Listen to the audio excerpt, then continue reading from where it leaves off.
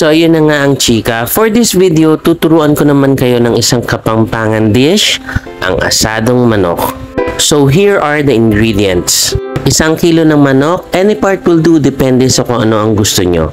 So, meron din tayong bawang, sibuyas, bell pepper, dahon ng laurel, at calamansi juice. Siguro mga 15 pieces yan.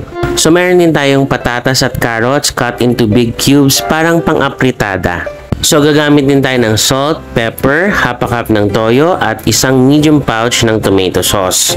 And optional po ang sugar to balance the taste. So, first things first, imamarinate natin ang ating chicken sa toyo at calamansi juice for at least 30 minutes.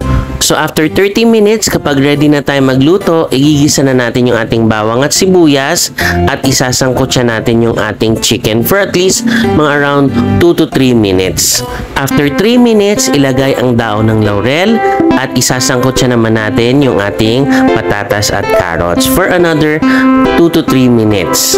Kapag okay na, ibubuhos na natin yung ating natitirang marinade, half a cup ng tubig or chicken stock, at ang ating tomato sauce. And we will let it simmer for around 20 to 30 minutes or hanggang sa lumambot na yung ating carrots at patatas. So kapag okay na ang ating gulay, huli nating ilalagay ang ating bell pepper and also timplahan nyo na siya ng salt and pepper bago nyo patay ng apoy. Optional lang po yung sugar kung gusto nyo ng medyo matamis yung ating asadong manok.